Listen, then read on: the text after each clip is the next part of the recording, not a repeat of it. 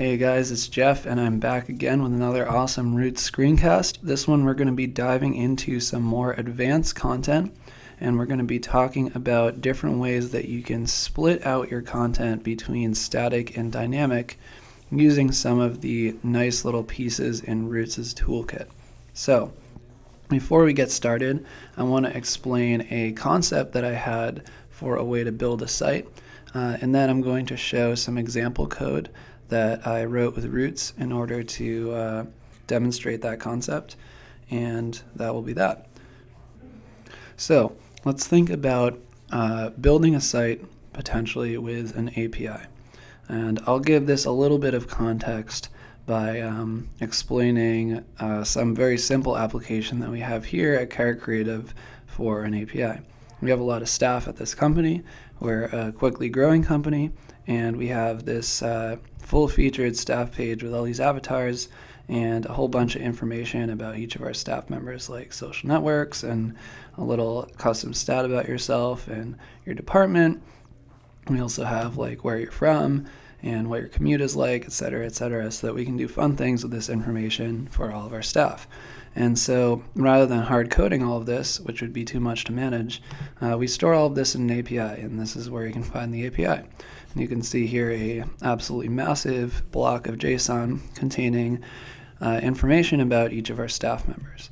So this is the kind of thing that I might want to be able to use to build a static or dynamic site as a data source rather than hard coding all of the data.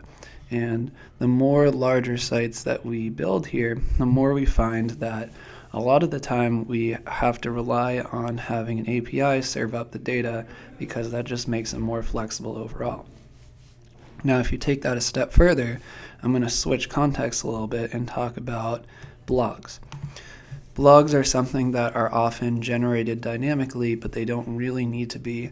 They could be served statically because their content doesn't change that often. It's not like every time you go to the page, you'll see different content. Like every time people go to facebook.com, they'll see different content because it's constantly changing, they're logged in as different users, etc.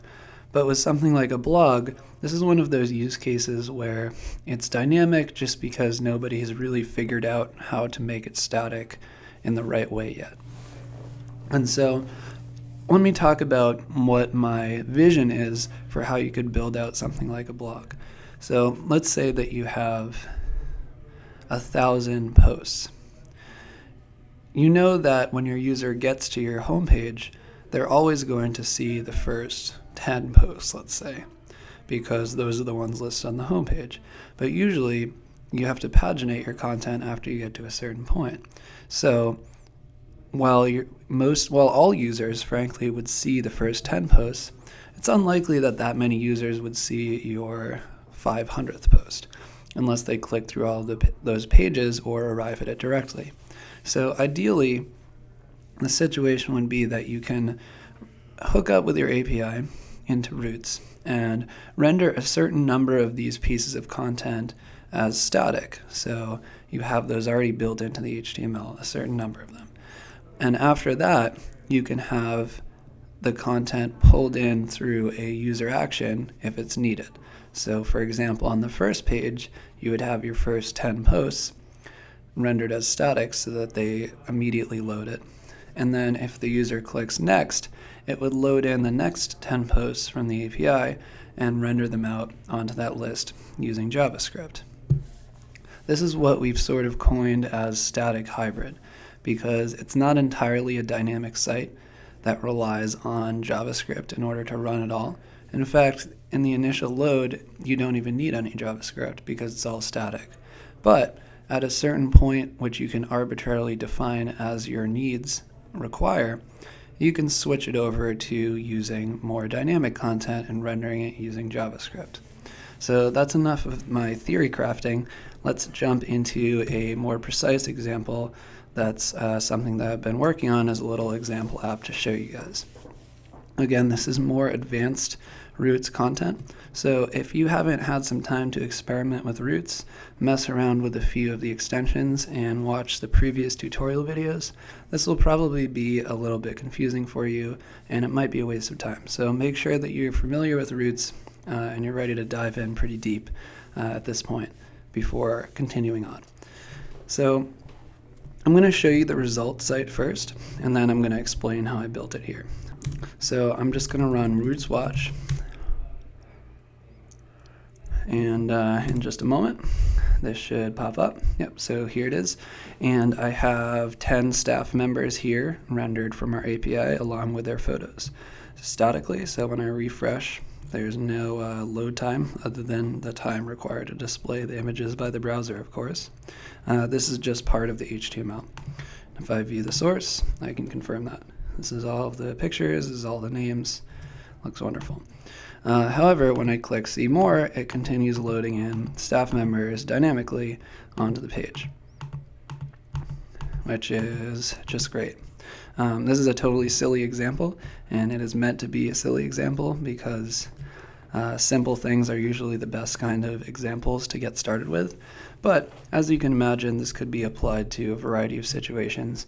And you guys will see if you continue watching through these videos how this same concept can be applied to a uh, large production site in order to speed up load times and make it more efficient. So let's look through the code here. First of all, all of the data for this whole site is coming from that API URL that I showed you before. Um, we're using a extension called Roots Records. And what Roots Record does is it can load in data from a file or an external API as long as it's JSON data.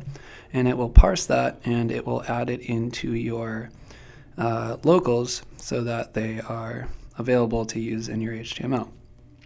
If you just use the locals hash in your app.coffee, you just have to put the data in directly there. However, Roots Records offers you a little bit more advanced functionality in that you can pull data from remote sources asynchronously, and you can also use things like this path to navigate through and dice up your data and choose exactly which sections of the data you want to pull out. For example, if you look here, I know this is hard to read, but at the start we just have some basic, uh, you know, assertions about the data, like that the result came through, we have the success code, and our actual information is contained in this array called data. So rather than having to sort through and go to dot .data every time I use it, I just define this path as data here as an option to roots records so that I could just get the data I want.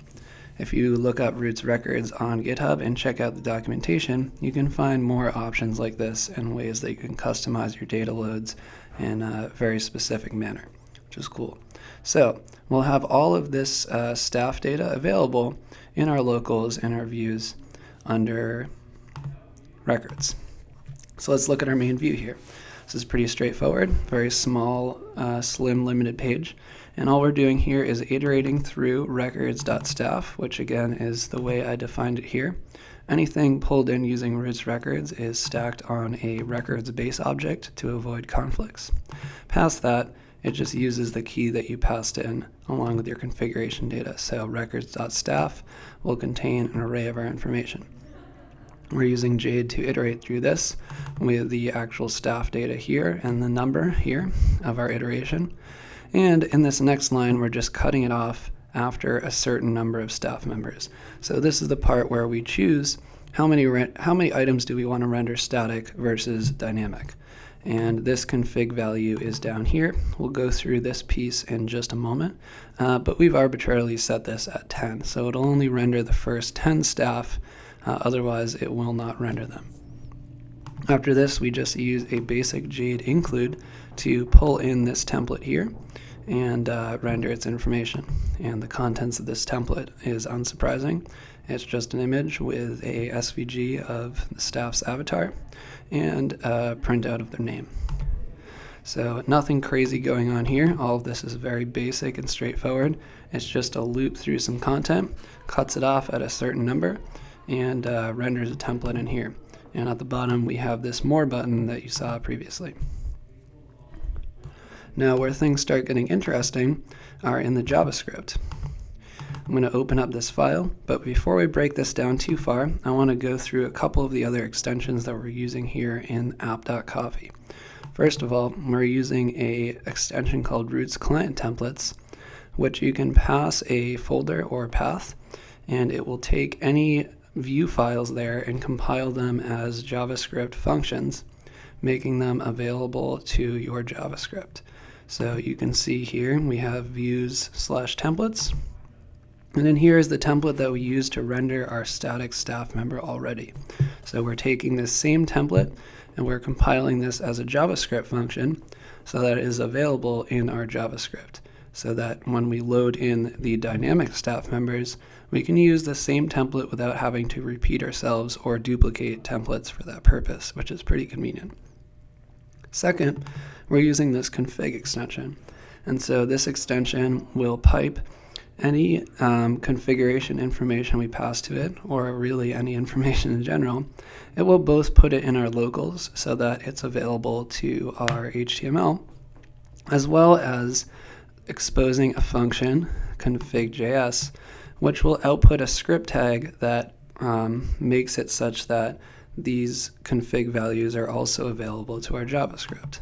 So what we're doing here is just making sure that JavaScript is aware of our API URL, and also that our JavaScript is aware of how many items we've chosen to render as static, so that we can start from that point when we're rendering dynamic items. Let's look back at this JavaScript template now. Again, this is very, very slim and bare bones. It doesn't require a lot to get this going, which is great. Um, all we're doing here is up top we have this empty staff array. As soon as the page loads, we use jQuery to go load up the API URL and get those results back. Um, the bet here is that before you can get your mouse to the More Staff button, this data will have already loaded. This may be a bad idea depending on the speed of your API and whether it's just a silly testing site or a production site. So be careful of this kind of uh, method. And if you are employing this, make sure you at least have a backup. But this works very nicely for this example. Um, so once we've got the data back, when the page loads, all we do is we assign res.data to the staff array so that we fill in this array with all of our uh, Carrot staff members. And additionally, we use a construct here called ranges in CoffeeScript to ensure that this only takes from the 10th staff item on. So if you recall, uh, our config static items is 10. This is how this construct looks. And all this does is just starts at the 10th item and pulls all the other items until the end of the data. Um, you can do this with uh, vanilla JavaScript as well. It just is more of a pain, and so it's convenient for me to have this nice CoffeeScript construct here, and also makes it a little bit easier to read. So, assuming that the page is loaded and we have our staff array starting at the 10th staff member, all we need to do now is when the More button is clicked, we can render our first staff member that's in our staff array into our templates, which are here, templates.staff. Um, and then we can just take that HTML and append it to our list. After that, I'll just splice out the first staff member so that we don't end up repeating that staff member over and over. And the next time that more is clicked, it will go on to the second, third, etc. So again, this does work very nicely. Um, I'll reload to show you again how it looks. We render the first 10. We can add more staff and they get popped in. If you want to see how we can change our allocation of static versus dynamic, I'll make that change quickly. Just boost this to 15. Since we changed our config, we restart the watcher and we let it do its thing. Should load up in just a moment. There it is. And now we have 15 staff members. You can see this is notably longer than before. And it still starts at the next one from the JavaScript automatically. So very cool concept. Of course, this is a silly example, but this kind of code and this kind of static hybrid concept can really be used for some very interesting production applications. In the next video, you'll see one good example of this, and I hope that if you are interested, uh, the wonderful users of Roots will be able to produce many more interesting examples of how a technique like this could be used.